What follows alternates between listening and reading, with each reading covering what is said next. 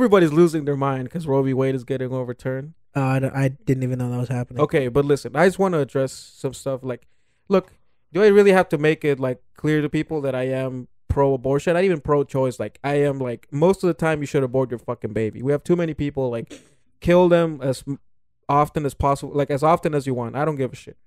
But I do hate seeing like I'm like people are ruining their own argument when they put shit like the first the biggest one is like a man should have no say over a woman's body. Get the fuck out of here with that bullshit. It's just your it's your representative of the law.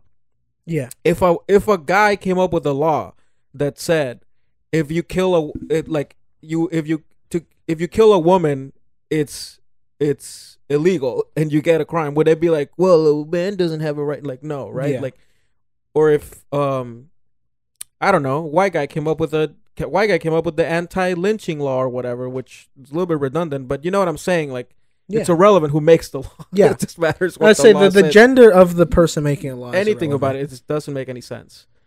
Second of all, it's not um the arg the the sides fighting. They're fighting. They're saying different things that don't make any sense to both of them. The people that are pro, you know, quote unquote life or just anti-abortion. It's a religious argument.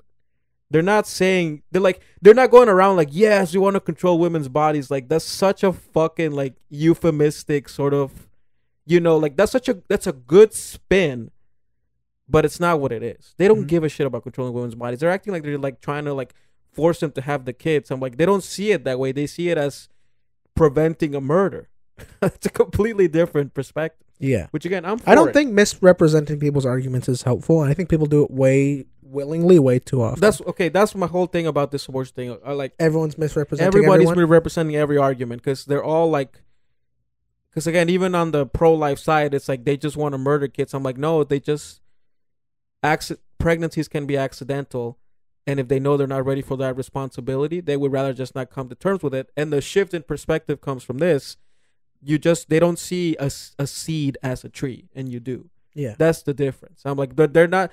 If in their minds they thought like they're not like they're act like the pro life side acts as if women want to drown their babies in a bathtub, hmm and then the other and then the other side acts as if they're trying to like grab them by the neck and be like, no, bitch, come over here. You're gonna have the pregnancy. You're gonna have the kid. Like that's the thing that that, I, that upsets me the most about this. I do not like if they were to overturn that because I am again I am pro-abortion. I don't I don't I like it. I like that women have the choice to end the pregnancy. I think it's maybe it's selfish, but I think it's a I don't know. I I'm very pragmatic and I just I I'm on the side of I don't see the I don't think life begins at conception, so I have no I don't I have no moral qualm with it.